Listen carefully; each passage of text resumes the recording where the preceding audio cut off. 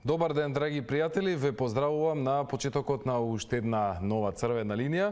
Ве поканувам да бидете заедно со мене до 17 часот и 30 минути. Денеска имаме одлични теми на кои ќе зборуваме, впрочем тоа го правиме секојдневно кога кога имаме црвена линија. Денеска имаме и тоа како актуелни теми. Знаете дека Копијата се судруваат помеѓу политичките партии, се судираат во дело за изборите, кога би се одржали избори, дали би се одржали избори, дали ќе имаме во јуни власта, односно председателот на социјалдемократите најавува избори на 21 јуни, опозицијата ВМРО ДПМН е бара изборите да бидат одлучени за кон крајот на летото, може би ете септември или октомври, се со цел сега приоритет да се даде на на здравјето на граѓаните. Но тука сме да го слушнеме вашето размислување и да ни кажете што сметате и како сметате. Дали сметате дека избори треба да има во јуни или пак да има во, во септември? Ке се договорат ли политичките партии за датумот за изборите? Ова е првата тема на која денеска зборуваме и ги очекувам вашите телефонски јавувања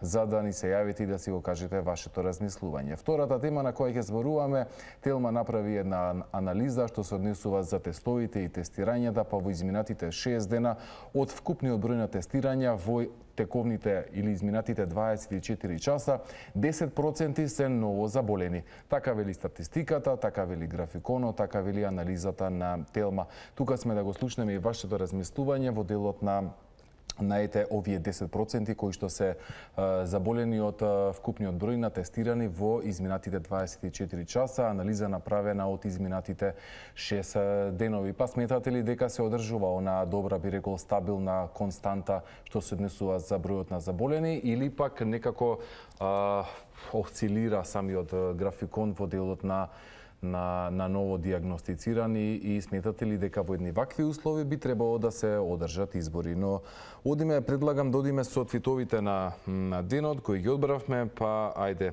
одиме со твитот број 1. Требаше пандемија за да сватиме дека не мора да се работи во недела и дека и тие што стојат по 8 до 12 часа на нозе заслужуваат слободен ден. Твит број 2, Заев и сам на избори да оди, пак ќе биде второ место на изборите. Добро.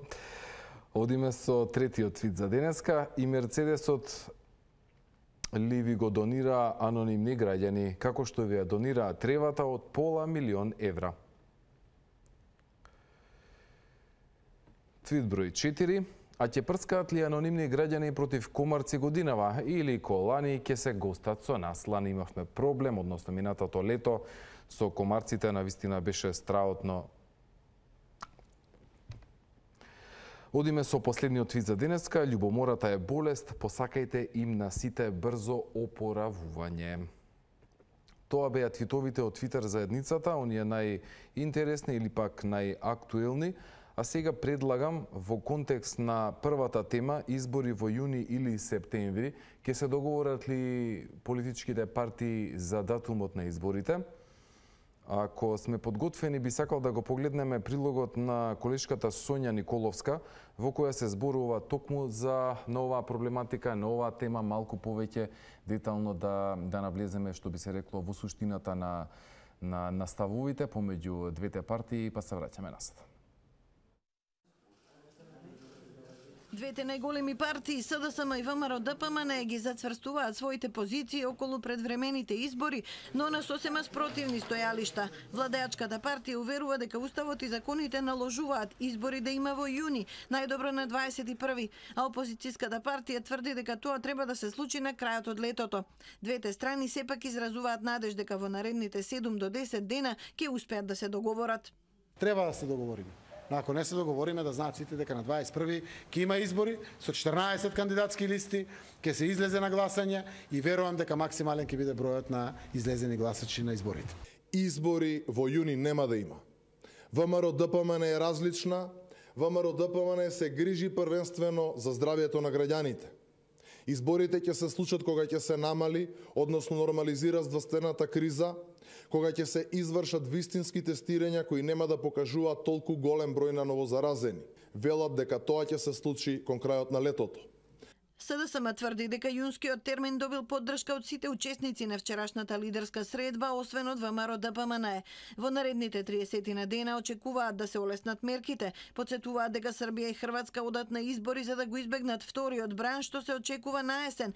И конечно, Уставот, изборниот законник и владината уредба наложуваат дека изборните действија продолжуваат ден по завршувањето на вонредната состојба. Секој што не ги почитува, вклучувајќи ги и членовите на ДИК, ќе сноси одговорност вели Заев. Ако некој сака да ги одложи изборите, кој сака да е во државата? Зборам прво институционално, председател на државата, председател на парламентот, владата, па зборам позицијата, власта и така натаму. Мора да ми покажат по устав и по закон како тоа го прават. Нема да дозволиме неуставно и незаконско одложување на изборите. Зошто? Заради тоа што вие лично или било кој граѓанин во државата една представка до Уставниот суд ќе ги урниса резултатите на изборите. Од ВМРО ДПМН е вела дека Заев не ги почитува условите за кредибилни избори, мислењето на ДИК, на ОПСЕ и на здравствените власти. За ова се свесни сите партии, освен СДСМ. Според ВМРО ДПМН, уставниот рок од 60 дена за предвремени избори истече на 16 април. ДИК не може да продолжи со изборни действија пред завршувањето на вонредната состојба, а денот на изборите не може да биде определен со уредба на владата. Тоа може да го стори само председателот на собранието со ново решение. Прво е спротивно на закон владата с уредба да го направи тоа. Тоа е значи невозможно. Значи не може да се случи а, такво нешто или еве ако се случи да решат додат нели на сила, значи таа а, уредба таква би била оспорена и таа не би можела да биде а никогаш да го види светлото а, на денот. Повлекувањето на кандидатските листи во овој барем во овој момент не е возможно бидејќи тоа е завршено действие, процесно действие согласно изборниот законник. Оптимистите очекуваат нова лидерска средба до крајот на неделата, како трета шанса за постигнување договор за изборниот ден.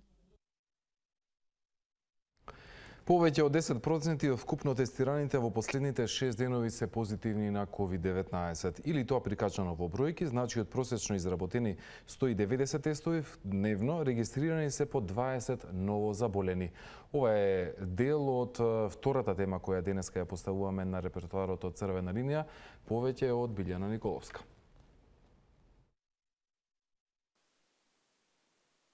Повеќе од 10% од вкупно тестираните во последните 6 денови се позитивни на COVID-19. Или тоа прикажано во бројки значи од просечно изработени 190 тестови дневно, регистрирани се по 20 новозаболени. Но ова е математиката на Телма, не е на Министерството за здравство. Оти тоа последниве денови во збир ги објавува тестирањата на оние кои се тестираат по алгоритам со симптоми, заедно со вработените во градинките кои подлежат на скрининг без никакви сомнежи за болеста. Телма собра дека вкупно во последните 6 денови се изработени 2167 тестирања, но од нив дури 908 се завработени во градинките од каде што имаше само еден позитивен случај. Тоа значи дека ако се одземат градинките, разликата од 1259 е всушност реалната бројка на изработени тестирања, со кои би се лоцирале ново заболените од коронавирусот. Но и овој број е под знак прашалник, бидејќи во изминатите 6 денови има и оздравени пациенти, и тоа 116. Од досегашната пракса за еден болем да биде регистриран како оздравен значи дека треба да има минимум два негативни тестови. Сепак, по предпоставка дека сите тие не се изработени во минатите 6 денови, Телма ќе одземе само по еден за секој оздравен, што би значило дека во овој период по алгоритам се тестирани 1143. Па така, кога ќе се подели на 6 денови се доаѓа до 190 тестирања на ден за ново заболени, а просекот е 20 болни на ден, или 10% од тестовите. Ова се коси со изјавата на заменик министерот за здравство Армент Аслани, кој го пренесе ставот на комисијата за одржувањето на парламентарните избори. Според изјавата дадена на 11 мај, само ако бројот на заразените во наредните 14 денови е под 5%, може да се разговара на темата избори. И директорот на Центарот за јавно здравје во Скопје Арбен Зебери во изјава за Телма пред два дена беше загрижен поради новите бројки и изборите.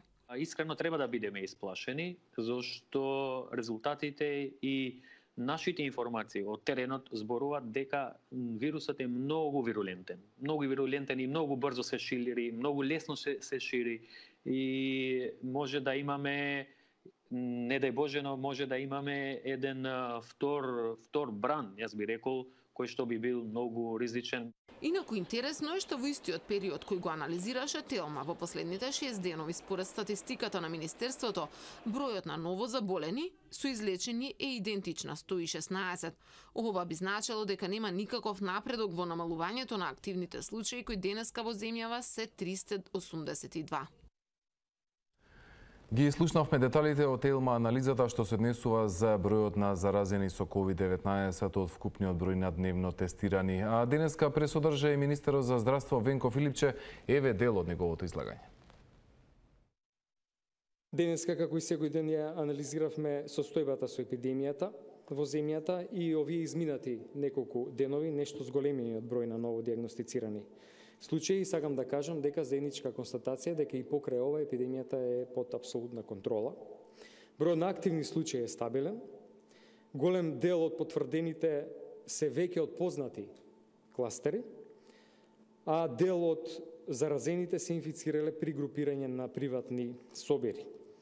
91% од здравствените работници се оздравени и со тоа практично целокупниот човечки капацитет во здравството е на располагање функционален. Тоа беше дел од пресконференцијата на Министерот за здравство Венко Филипче, а јас само уште еднаш да ги подсетам темите на кои денеска зборуваме во Црвена линија. Избори во јуни или септември ќе се договорат ли партиите за датумот за избори. 10% ново заболени од COVID-19 од дневно тестираните. Одиме со вас, почитувани со гледачите, ако имаме некој на линија, можеме веднаш да го вклучиме. Добар ден. Добар ден, ако сум јас на линија. Да, вие сте на линија, ве слушам, одлично, повелете. Благодарам. Ева, ка јас се окажам своето размислување, значи во однос на овај предлогот да речеме избори во јуни или во септември.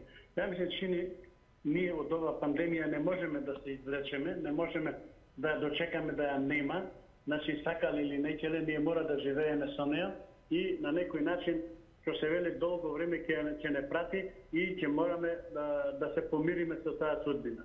Но да го искористиме треба овој лет, летен период, тоа потопло време каде што не му одговара на вирусот, значи ваква температура, на некој начин ќе ја има и понатака, но ќе ја има далеку помалце отколку во септември, во октомври или во декември, каде што повеќе му одговара влажниот и ваздух и пониските температури.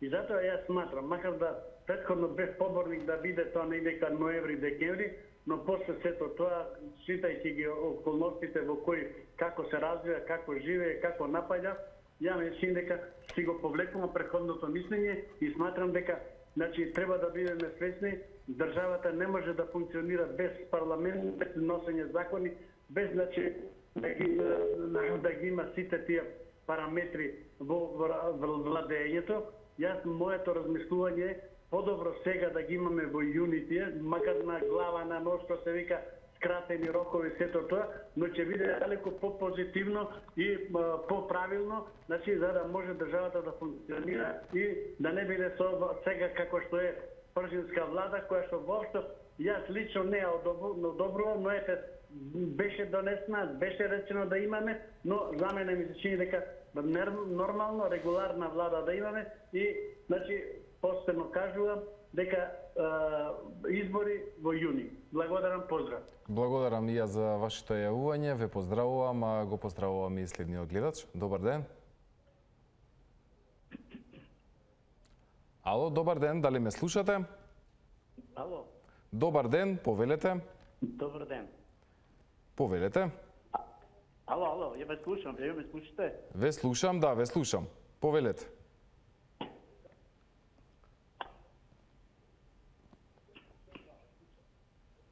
Вака, значи, ВМРО беше за предвремени избори.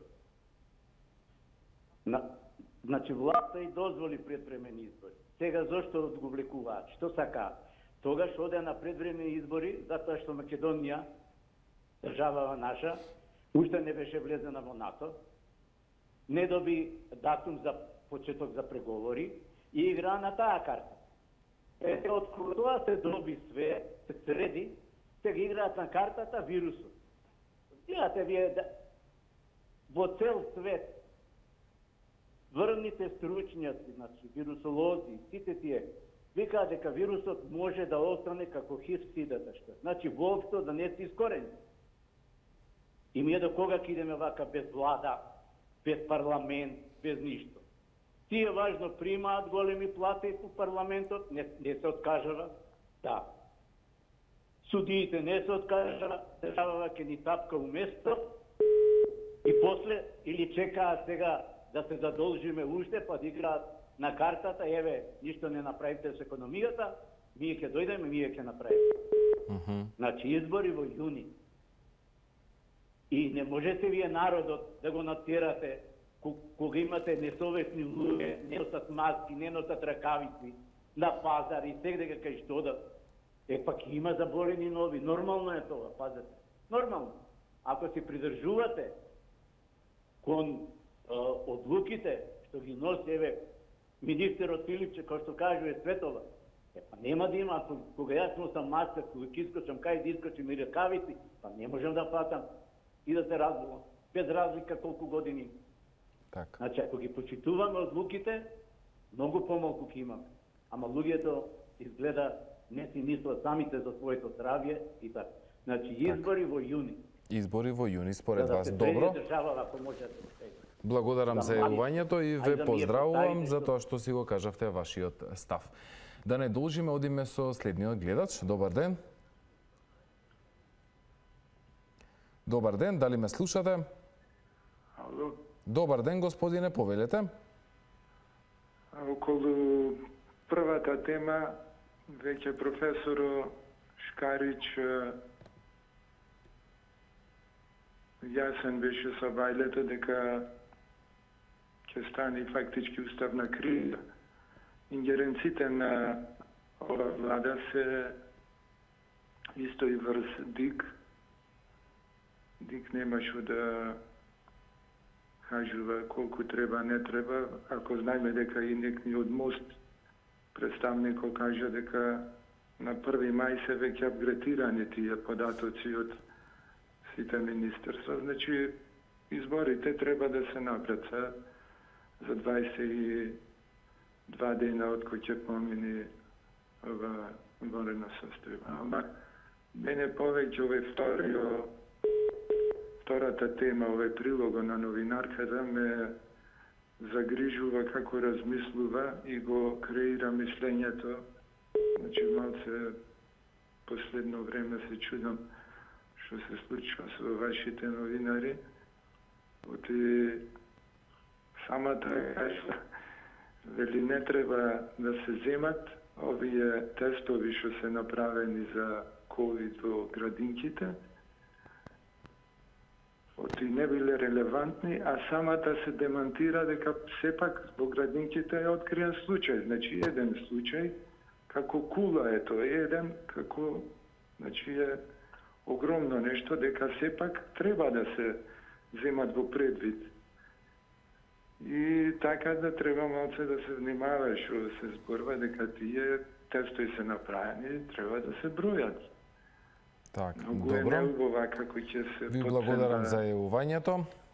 Одиме со следниот гледач. Филипче, меѓу другото, денеска истакна. Првата битка ја добивме, но војната не е завршена. Првиот удар е амортизиран со контролиран број случаи, не се оптовари капацитетот на болниците и се тоа е резултат на мерките. Само со строго почитување на мерките и препораките може да ја држиме епидемијата под контрола. Рестриктивните мерки ќе се олабавуваат и почнуваме да живееме нормално, но само ако ги почитуваме мерките, а институциите да спроведуваат контроли. Добар ден за следниот гледач. Дали ме слушате? Добар ден. Добар ден, Гоце. Здраво, повелете. А, избори, да, ало? Избори, Гоце, само во јуни. Не само затоа што така треба, туку затоа што единствено тој и термини остана. А имаше можности за договор. И јас искрено се надевав дека ќе преовлада разумот и дека ќе падне договор за продолжување на изборните активности за веќе започнатите и прекинати избори. Е сега, кога нема простор и време, ниту законски можности за распишување на нови избори, сега мора да се продолжи каде што беше застанато и пред да се застане. Сега Мицковски вика договорот бил да има датум со консензус. А јас пак го прашувам, дали он сите одложувања и сите неприфаќања на се што беше предложено, ги правеше намерно за да нема консензус и да не оди на избори. Очигледно затоа, зашто резултатот однапред го знае и затоа цело време работи да не дојде до избори. Дури и би се осудила да кажам дека наспроти нивните декларативни заложби за здравјето на граѓаните, цело време систематски работеа на разгорување на епидемијата. Ова ли е неговиот консенсус? Зошто мислите дека систематски работеле на разгорување на епидемијата? И вака ли заеднички нешто се договара? Е, кога нема заеднички договор, мора да се почитуваат само законот и уставот. А единствен термин според нив е 21 јуни. Жал ми е што изгледа ќе мора да биде вака, но тоа е што е. Благодарам за одвоеното време. Добро, пријатно. И мене ми е жал што мислите дека некој работел за разгорување на епидемијата, но тоа е што е. Одиме со следниот гледач. Добар ден.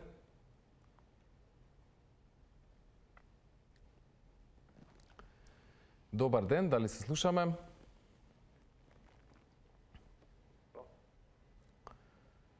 Ало, добар ден. Ме слушаш? Ве слушам, господине, повелете. Како сме го се прошлиот пат ми случи, може би сгрешив нешто. Јас сум ви исклучил? Не. Немам да. ја можност да. тука да, не, не да диригирам со исклучување и со вклучување. Јас само тука сум да, да разговарам со вас, не Добре. можам да исклучувам. Не имам со што да ви исклучам. Не имам далинска. Види, а, цело време го напаѓаат ВМРО, не се као... А, цело време цело време го напаѓаат ВМРО дека не се кала 21 јуни. Ами што не кажат за села? Зошто не се кажа за села? И села не е, не е за 21 јуни. Зошто тоа само ВМРО крив, ВМРО крив. Абе бидете отворени луѓе, имаме уши, не сме глупи. Слушаме кој што кажува и села, и Али Ахмети, немало, не, сме немале влада. Која влада, бе, човек, како немаме влада? Имаме еден технички министер од ВМРО, сите други се од бившата влада. Е, сад, што не е зае тоа е друга работа, што не го боли тоа. Ќе го боли, го разбира. Го избрка од власта и го боли. Ние, еве, Белгија, 4 години нема власт. Влада нема, па издржава луѓето. Добро, вие за кога сте за избори? Епидемиолозиве да кажат. Второ, треба ДИК да каже, па да каже ОПСЕ. Са не ме прекинуј гоце, не ме превицај. ОПСЕ. И да кажат, ДИК треба да каже. Плюс ние ги немаме прочитано програмите на партиите. Еве ја како Ваморовец, ако ми се свиѓа програмата на, на СДС, може би ќе гласам за нив. Па ние треба да прочитаме барем 10 програми од ДУИ, од Алијансата, од, од Левица, од ВМРО, од СДСМ. Треба ли ние да ги прочитаме? Па ние сме, не сме компјутери. Значи тука треба уште 10 дена најмалку луѓето да видиме кој што нуди. Па дали ќе ни даваат бугарски пашапорти. И тука и тука има билетов госецање. Воа кој што сака испадна, воа што тргна, може би заед ќе пара да имам избори на месечината. Таму нема нема само вирус, може и само да има вирус, не знам. Абе, луѓе од се се за фудбал, да се спремам ја една утакмица, ми требаат месец дена да припремам екипа, еј, месец дена, а не за избори со плюс со со коронавирус кај што умираат по 20 души.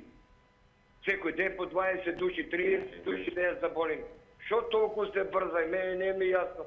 Ако народот е сака, ќе ти избери и во јуни, и во јули, и во септември.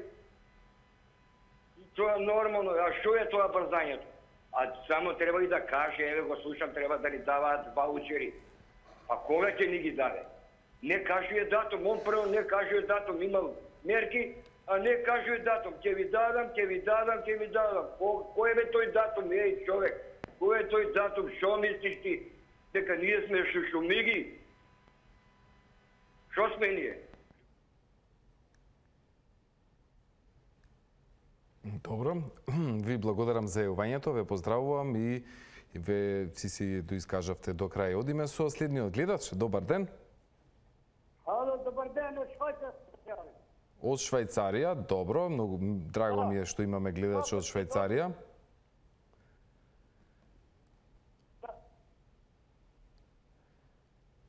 Слабо ве слушам. Ало, да, Ме слушате вие мене? да, дали, дали диаспората треба да, да гласа за Погласно само малку, погласно. Дали цело е диаспората да гласа? Дали ќе гласа Диаспората не од, од, од, од.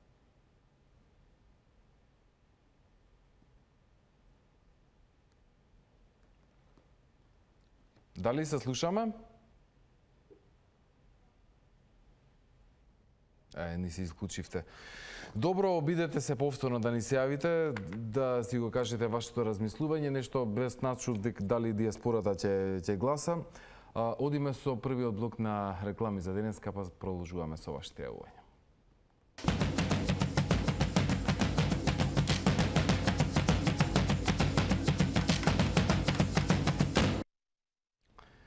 Избори во јуни или во септември ќе се договорат ли партиите за датумот за избори, за вели избори 21 јуни. Од друга страна, опозицијската ВМРО ДПМН е вели дека изборите треба да се одржат кон крајот на летото или септември. Ова е темата на која денеска зборуваме и дебатираме заедно со вас. Томислав Крстич вели избори во јуни со сите предпазливи мерки за 720 минути по 3 минути за секој гласач, тоа се околу 250 до 200, 240 до 250 гласачи, тоа е некаде околу 700 до 800 илјади гласачи. Тоа е под 50% од гласачите, како што беше со референдумот со 36,8%. На сето тоа, награда за карантинот на повозрастни лица. Добар ден за следниот гледач. Ама, добар ден. Повелете, господјо. Па вака гласањето може да биде во парк на Ливада, покрај Вардар, на езеро, на чист воздух. Така да може да се организира и надвор. Сега зависи од времето. Добро, мала шала. Вака, избори треба да се одржат во јуни. Поради тоа што е време да се одржат избори, да се дојде нова влада, како што треба, не сега техничка влада тука, а, да имаме и не заслужиле повеќе од 3 месеци да бидат во оваа влада, техни, од, мислам, тие што се од техничка, као техничка влада. Кој не заслужил да биде Чуле, и не знам кој е таму влезен, друг. Као техничка влада, нормално дека Зајев треба да си биде премиер. А не Спасовски. Така да тоа треба да се смени, да си биде регуларно како што треба и треба во јуни да се одржат изборите. А ВМРО не сака да Зошто Заев да биде премиер? изборите поради тоа што тие знаат дека треба да си купат гласачи. А, знаете како си ги купуваат црните еврејки, тие се уште стојат, може сега негде се подкинати, па некој ливче излетало, ки им фали. Така да треба да купат гласачи, да присоберат пари, а и гласачите да ги избрбуваат. Така да им треба време до септември. Ова им е кратко сега до јуни. Вие знаете они како добивале тие години со црните полни вреќи гласачки ливчиња. За кого зборувате? И тоа е вистина. Така да они затоа и пролонгираат да биде во септември, а не сега во јуни. Добро, благодарам за јавувањето. Е, Одиме со следниот гледач. Добар ден.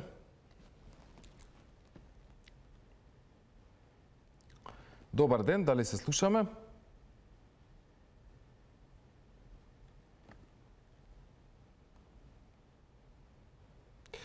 Заев очекува договор за избори, ако нема најавува избори на 21 јуни. Добар ден, Добар ден. повелете господине. Те поздравувам, Винце од. Како си Винце?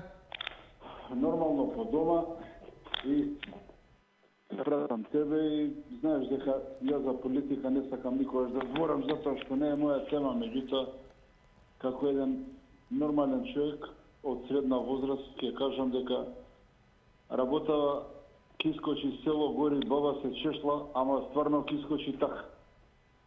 Каде е основата да има избор во јуни, кога уште господинот министер за здравство не дава у, у близка иднина никакви позитивни вести. Значи, секојдневно гледаме дека луѓе се разболуваат, инфекциите и понатака се на голем број жители на нашата држава, значи инфицирани има се уште доволно и голем број на луѓе. И ако постои здрав разум кај човекот, кај било кој, јас мислам дека во моментот многу е побитно да почне да се работи, луѓето да почнат да функционираат, да се отворат работните места во секоја можна гранка, значи дали било ресторан, дали било кафеана, дали било кафич, дали било фирма кај што произведуваат шајки и што год да се работи, значи луѓето да почнат да работат. Нас не ни треба продавање магла.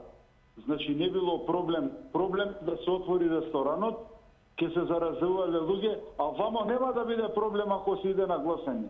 Па макар умре не знам колку луѓе. Е, чекајте бе, дайте се логично размислување.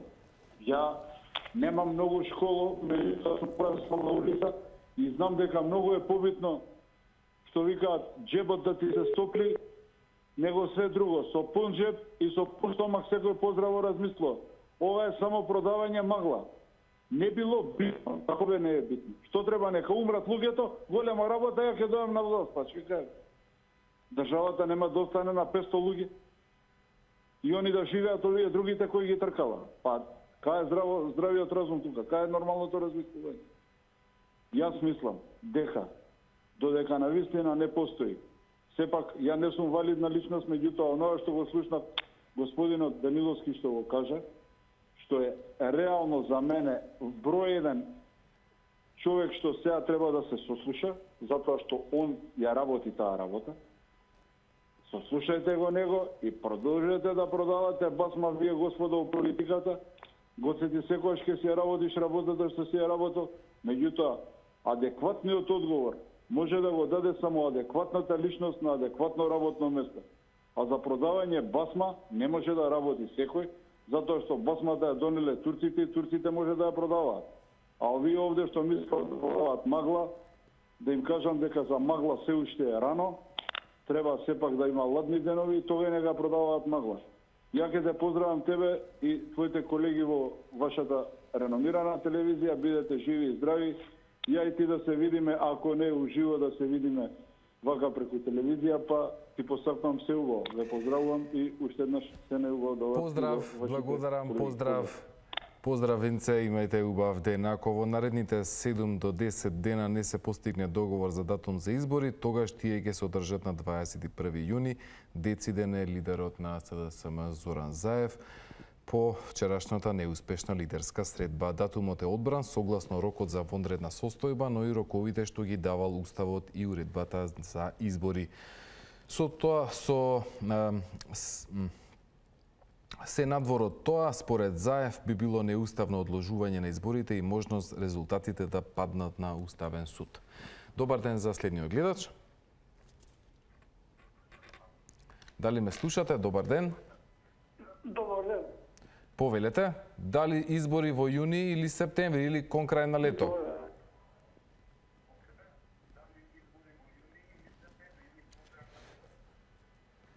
Ало.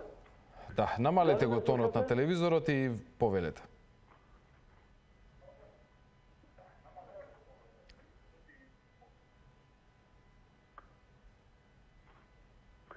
Доста намален телевизорот, не се слушате вие, не ве слушам јас. Добро, ќе ако не ме одиме со следниот гледач. Добар ден и имајте убаво и пријатно попладне, 16 часот и 57 минути. Избори во јуни или септември ќе се договорат ли партиите за датумот за избори. За сега изгледа дека не, а Заев е дециден доколку не се постигне договор избори на 21 јуни. Добар ден.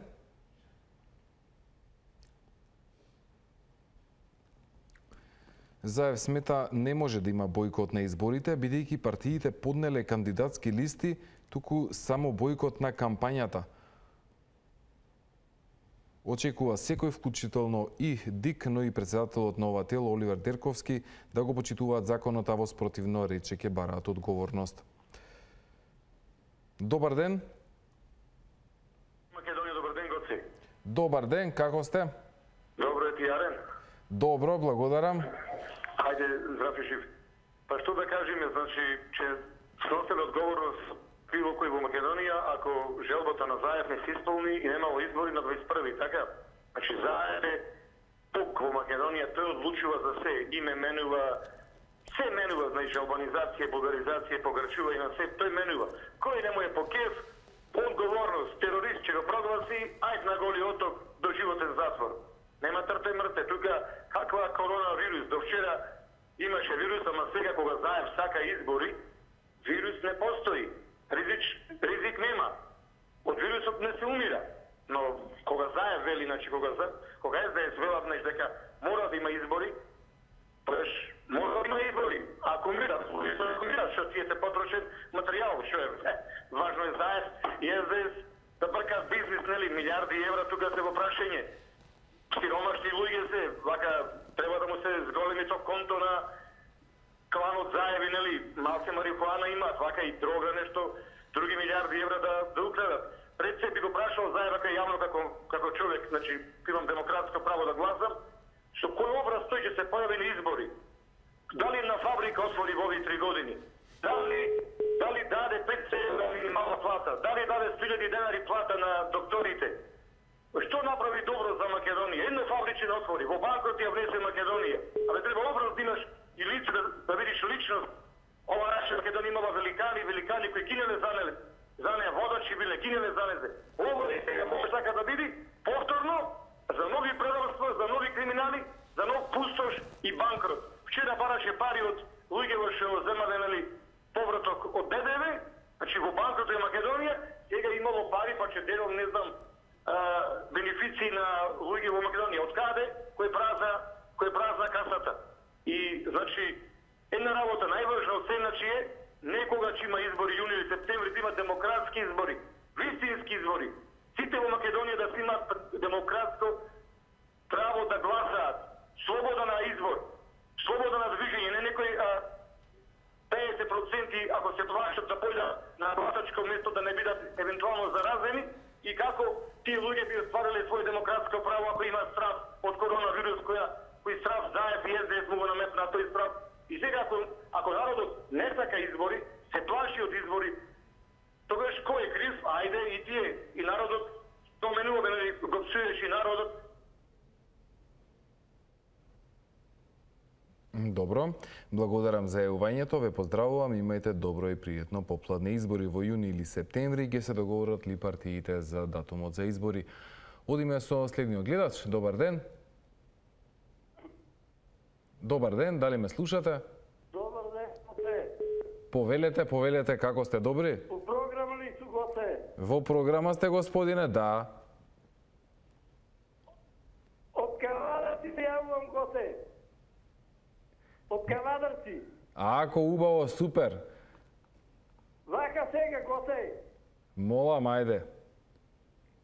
Јас сум од старите ВМРО-ци, разбира едни од основаци на ВМРО.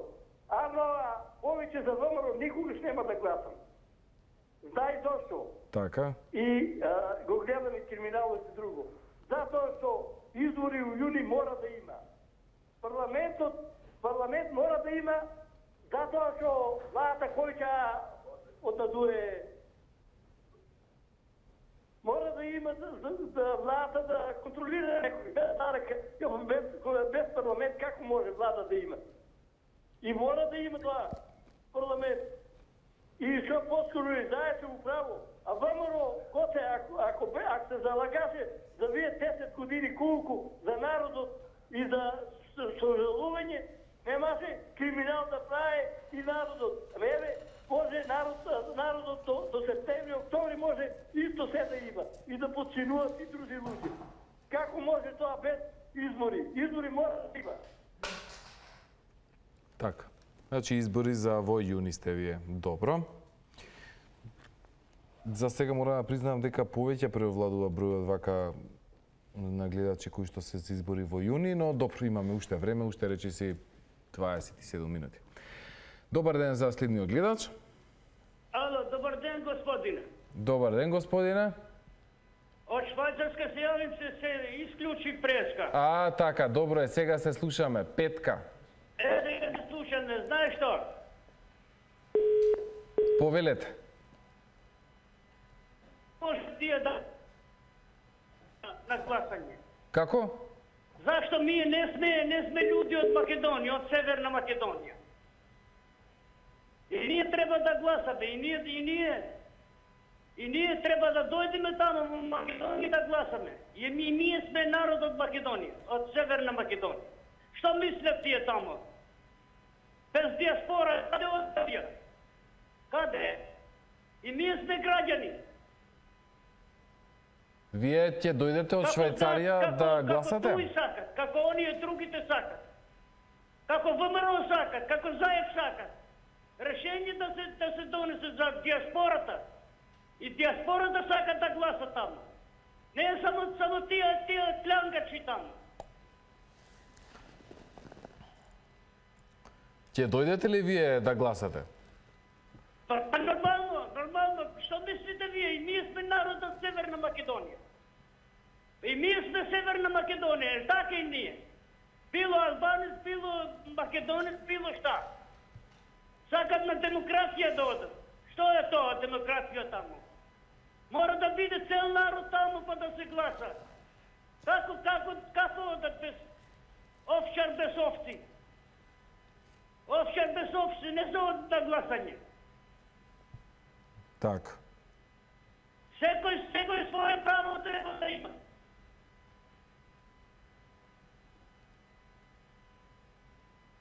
Така, сметате дека Па ми, па, овде е све отворено, све е отворено, све се работи, све, све граѓани, све школа, све ресторанти, све работа. Што е тоа работа, не знам. Дали сте попаметни луѓе тие таму? а во, Дали Ш... сте попаметни луѓе што ги држат луѓите затвор? а во Швајцарија каква е состојбата со коронавирусот? Никако, добро е, супер добро. Сите работат, сите работат.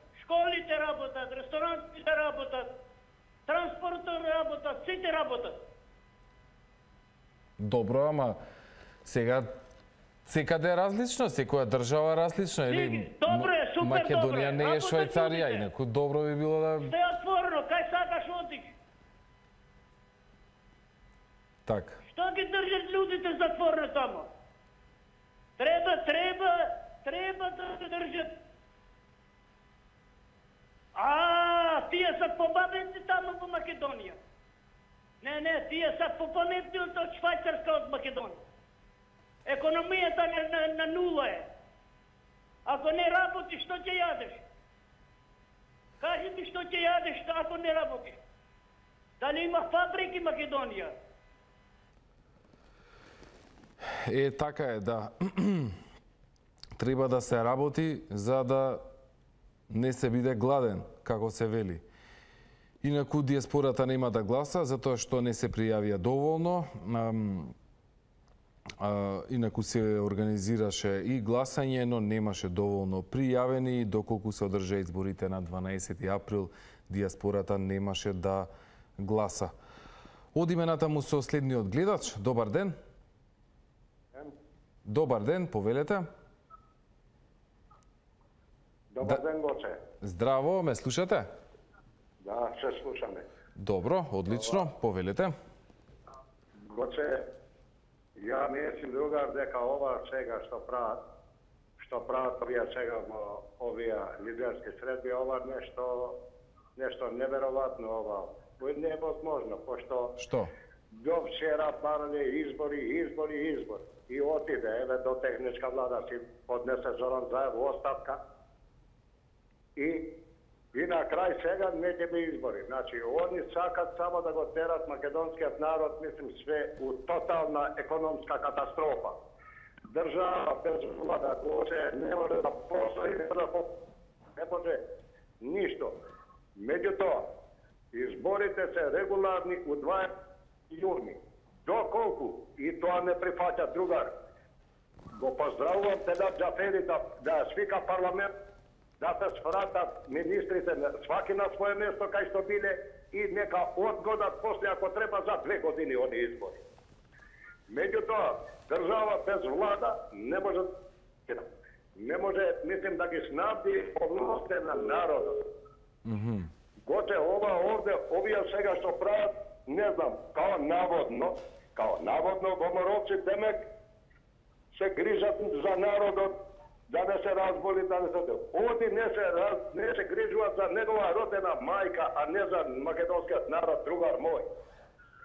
Ово, баш не знам ова... Зошто така мислите?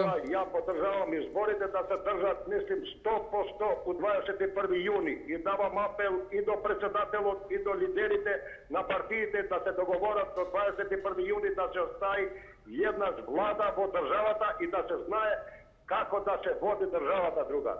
Поздрав, толку. Добро, благодарам. Ќе видиме кој ќе биде ставот. За сега ставот на ВМРО ДПМН е дека се за избори конкреот на, на летото. Ќе видиме, може би ќе имаме ситуација на, на, на бойкотирање, не знам, ќе видиме. Остануваат уште, уште денови, во следните денови најверојатно ќе се донесе и конечна, конечната одлука. Одиме со следниот гледач, добар ден. Хунта, да ова талибанци кршат, растураат, не влегува во парламентот. ВМРО три години не излезе, гоце, не излезе од парламентот. Они не одеа, кршеа. И против Македонија ја уништува. И немој сега да се правиме некој. Јас сум ти кажам, уште од 45-та, 12 години бев како и усила селарите, селата, сега градовите, не ги интересира. Бугарија од 7 милиона, од 9 милиона 7, Романија од 32 милиона е сега 19. Благодарам. Пријатно. Одиме со следниот гледач. Добар ден.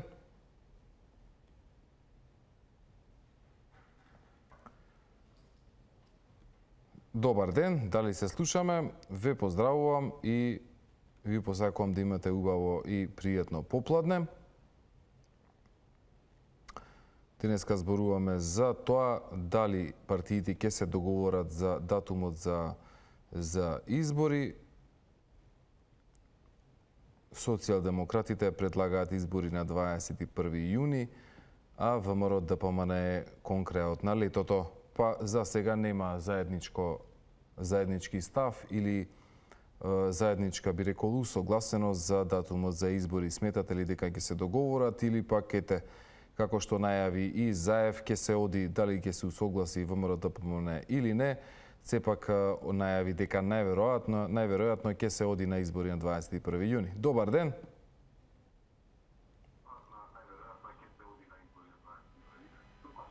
Намалете го само тонот на телевизорот. Добар ден. Ало, добар ден. Повелете. Добар ден. Повелете. Ало. Ме, дали ме слушате? На крај исклучивте. Добро. Од... Добар ден. Добар ден. Добар ден, господине. Повелете, во програма сте. Дали се слушаме го те? Па да, ја ве слушам. Вие мене? Еве вака. Може би може би некој сум повулгарен, меѓутоа вака сега. Како гласаш, се ќе одам да кажам нешто како гласаш. Дали ме слушате да ќе повторам? Добро е, добро е. Повелете, зборувајте. Е така. Како гласаш сега? Јас не морам да го под... Јас не морам да го поддржувам ниту ВМРО, ниту СДС, ниту било која партија. Како гласаш, за мене меродавно е. Ако Светската здравствена организација даде дека ова пандемија смирува.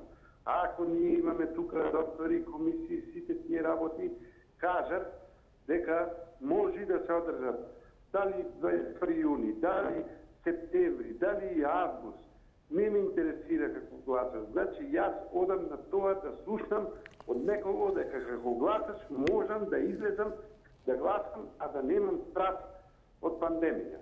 Так. Што сакам да кажам, тоа што го кажувам. Се јавуваат луѓе, се не бредам никого, е, ова е нешениот од ова па, од ВМРО. Не бе луѓе.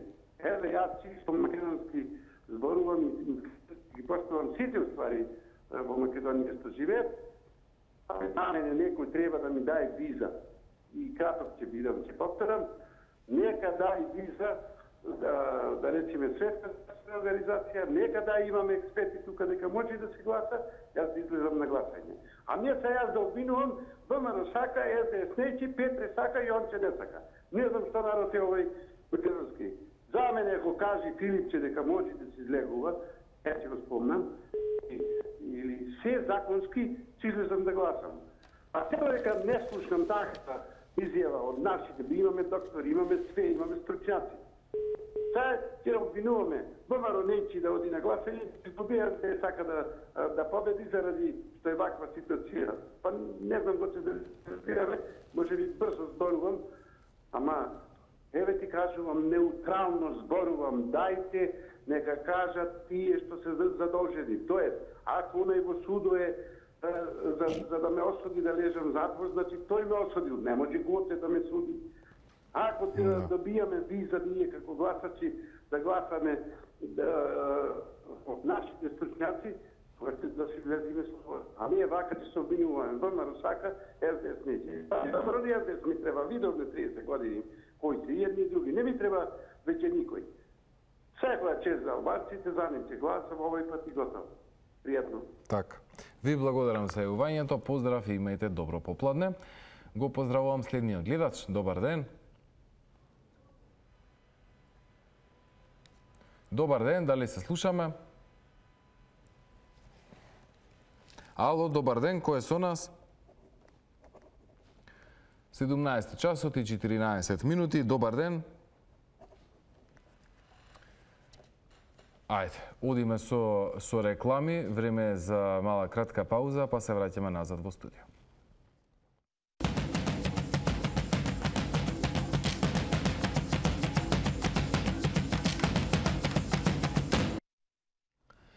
Продолжуваме понатаму со црвена линија и со вашите телефонски јавувања. Избори во јуни или септември ќе се договорат ли партиите за датумот за избори. Ова на оваа тема конкретно еве денеска зборуваме и ги очекуваме вашите телефонски јавувања. Ако имаме некој на линија можеме веднаш да го вклучиме во програма за да не не чека. Добар ден.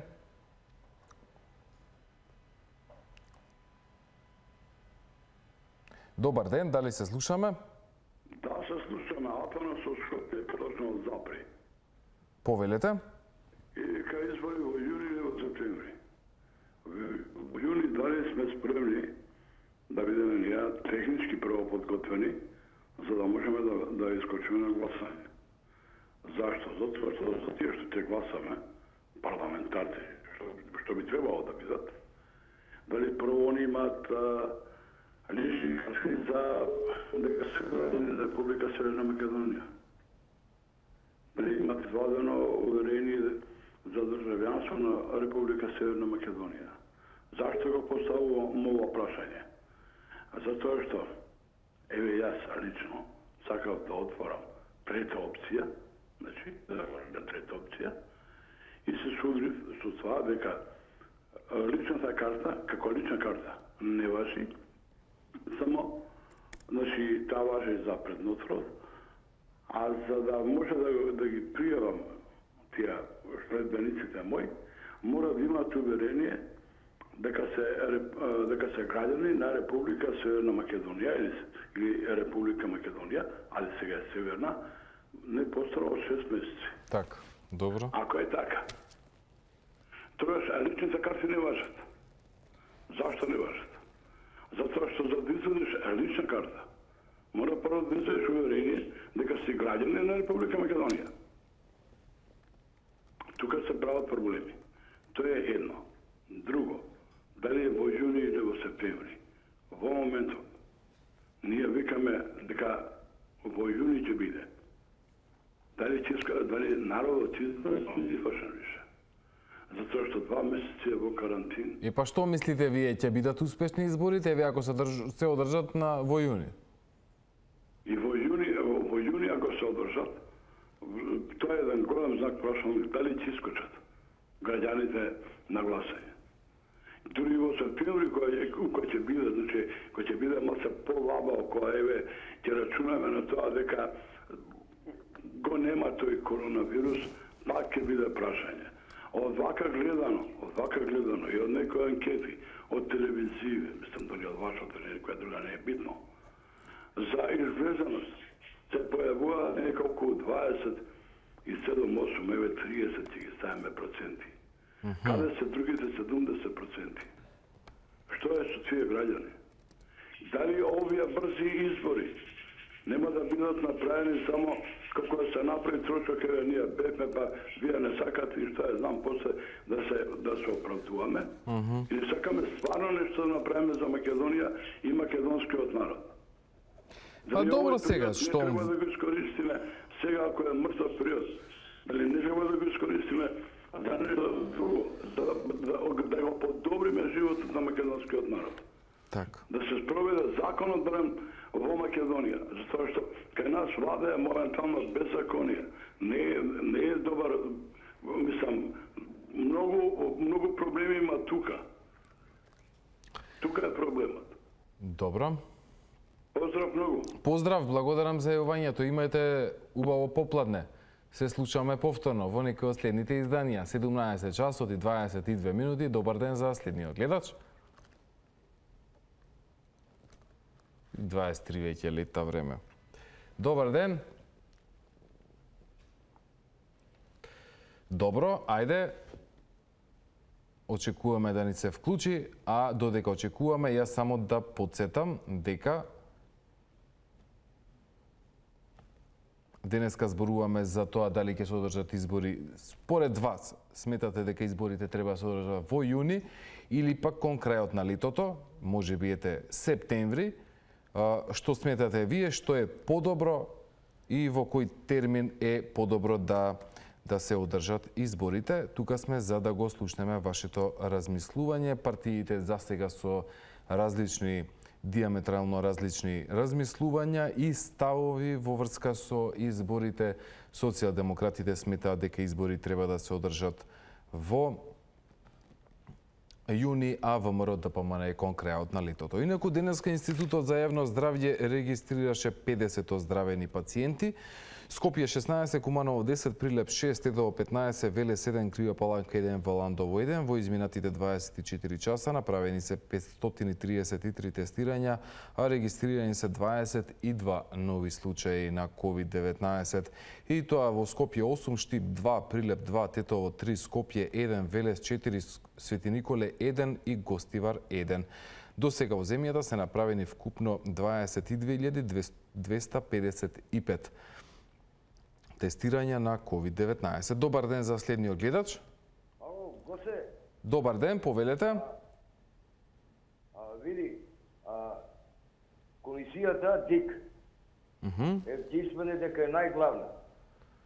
Ако заедно сака да има избори на 21 кој ќе му ги дае тие документи, тие лиција? Кој ќе му подпише? Еве, уште двајца албанци од комисијата на ДИК се против 21 Кој ќе му ги даде? Што ќе мисли дека ќе ги украде? Што? Без дик не може он да прави избори, што му е тој? Што му е тој? Без дик не може да прават избори, еј, слушаме, гоце. Mm -hmm. Што ќе ги украдели од, од Битола, од Тандар, од Мандаро, ќе ги крадели пчињата? Што, што го ваше народ? Не, само тоа не ми јасно. Кој ќе му дае подпис? Ево, уште 20 албанци не му подпишуваат, гоце. Што ќе ги крадеме? Ајде, ќе ги делиме по улица, ајде ти, е. Па не, тоа не, па што е, не знам што луѓе што размислува. Без ти не може да прават избори. Кој ќе ги подпише тие списоци? Кој ќе подпише броеви од кога е? Кој е? Што се занесуваат? Еј, еј, со факултет имал економски факултет. Што се занесува? Еј, што мисли дека македонците трава пасат? На уставно ќе падне, сега само партииве, мене не ми е јасно што чутак. Ние сме попаметни од нив од партиите, тоа да им биде јасно, а они само крадат од се туѓи парите. Веза нема со факултети и едните и другите. Веза нема. Ако испаднат од држава, друга држава ќе се изгуба, изгуба таму. Тука можат да не заебаваат нас со, со туѓи пари, со нив, наши пари не заебаваат. Нека испадне да живее по Европа. добро. Ќе се изгубат, гоце, ќе се изгубат. Такви не сакаат по Европа. Тука на чека добар народ. Е, а тој од Кавадарци, кој тој никогаш не бил во Моровец. Нека не сере тука он бил во Опа, пријатно. Не е така. Ајде. Поздрав. Одиме со следниот гледач. Немојте, а, значи, не знам, а, немој, а, нема потреба значи од вулгарни зборови да се да се кажуваат, особено нели на тој начин да реплицирате на други гледачи што се јавуваат. Добар ден. Да се јавиме во програма. Од каде? Викам да се јавиме во програма. Па вие веќе се јавивте во програма сте? Е, добро, ајде. Да кажем за, за темата. Ајде. Први избори не ни треба автоматски тој да не води заеви и СДСМ некоја политика бакар, што не иде во ред, што немат ништо направено, а само гледало да народот да го излажат, ќе дава картички, ти отидеш во продавница, картичката нема пари, лага, лага, да долага и се. Црниот дјавол заедно да не оди многу сигурен, оти ќе биде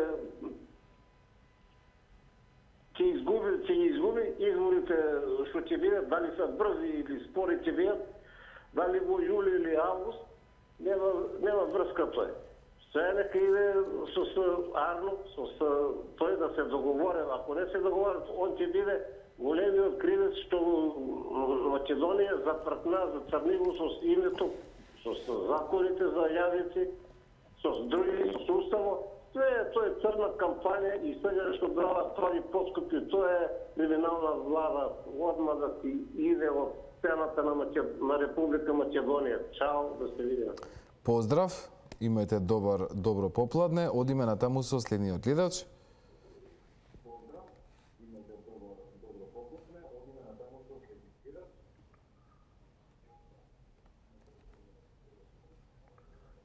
Дали се слушаме? Ало, да? Повелете. Во програма сте, може би и вие сте и последниот за денеска. Добар ден, повелете. Благодарам. Ги слушав скоро сите кои што се јавуваа денеска и во главном, а, а и вие инсистирате на техничките проблеми околу изборите, а никако не сакате да се, или никој не се осврна за суштината, зашто е од една страна брзање, од друга страна одложување на изборите. Сметам дека македонскиот народ треба да направи често притисок да се врати парламентот. Да донесе парламентот резолуција за заштита на македонскиот јазик, македонскиот идентитет и нашата диаспора, нашите малцинства во света, да го разреши Уставниот суд, кој што, кој што спиеше овие три години, кој што за многу суштински прашања ништо не преземаше, а сега се разбудува за многу периферни прашања.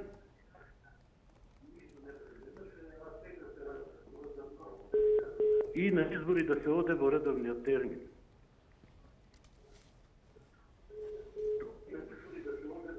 Многу се значи не знам како не се научивме на тоа правило за да го намалиме или да го исклучиме телевизорот додека зборуваме. Добро, ајде, ви благодарам. Одиме со следниот гледач. Добар ден. Ало, Добар ден, повелете. добар ден. Повелете. Ве слушам, многу тихо, но сепак ве слушам. Јас прекрасно ве слушам, повелете. Да, одлично, баш убаво. А до ова црвена линија вие баш наместе емисија. Емисијата е одлична и е, избори во јуни или во септември. Ме слушате? Прекрасно. Е, ова емисија велам дека е одлична. Црвена линија, 100 црвени линии помина е, СДС, СДСМ. Сите црвени линии ги помина и уште ова останува избори во јуни. Јас сум за избори во септември. После е, ситуацијата што имаме сега, толку страшна и тешка за цел свет, за господинот mm -hmm. Заев сега е обште не е страшна. Тој си се визирал на избори и избори. Меѓутоа, изборите нема да бидат према мене. Јас моето мислење, мислам дека и мислење на другите, на повеќе од народот, дека на избори нема да излезем ако е 20, ако е 21 јуни. Mm -hmm. Јас сум за септември, како партијата господинот Мицковски што што рече и не само тој и другите само господинот Заевски захтева е готово. Мислам дека треба да да се свести и тој малку да да види на на која ситуација сме. Не е проблемот, нека нека биде пак премиер ако ако добие. Никој не му забранува, ако успее во изборите. Меѓутоа, нека го свати, нека ја свати ситуацијата грозна за, за здравието на народот. Так. Губиме животи, губиме здраве, губиме економија, губиме се. Е он си заправа некоја негова теорија дека во септември школите почнувале, ова, она ќе се отворат границите. Сите тие работи се само теорија. Јас мислам дека треба да го послуша, да ги послуша другите лидери, што сите се со, ми се чини со исто мислење, но тој наведува на народот, народот го убедува дека сите се за јуни, дека само Мицковски и ВМРО не е за јуни. Так, е, добро, ви благодарам, ве разбравме, мораме да, да, да, да, да ја заокружиме денешната емисија. Ви благодарам, ве разбравме, вие сте за избори во, во септември. Ви благодарам, почитувани, на сите вие што бевте дел од денешната црвена линија. Ве поздравувам и ве поканувам да бидете заедно со мене и утре во 16 часот и 15 минути. Поздрав и останете со програмата на Телма.